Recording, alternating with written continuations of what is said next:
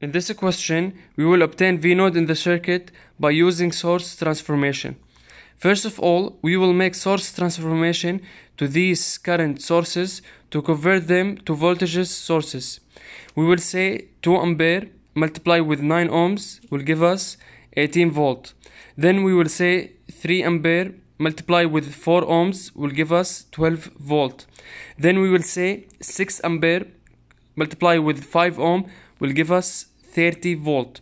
We only can convert from current source to voltage source if the current source is parallel to the resistor. This that's the only condition we can convert from current source to uh, voltage source if the current source is parallel to the resistor.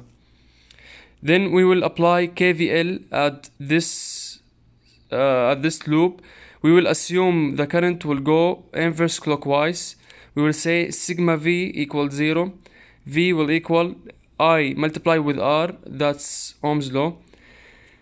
Then we will uh, say 2I because the current will go from high potential to low potential from uh, positive to negative we will say 2i then the current will go from positive to negative in this uh, voltage source we will say plus 30 then we will say plus 30 because the current will go from positive to negative then we will say 5i because the current will go from uh, from positive to negative from high potential to low potential.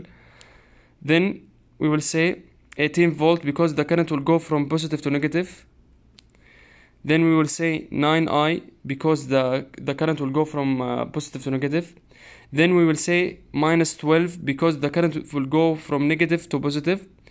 Then we will say 4 4i because the current will go from positive to negative. After the the simplification we will say 20i equal minus 66 i will equal minus 3.3 amperes.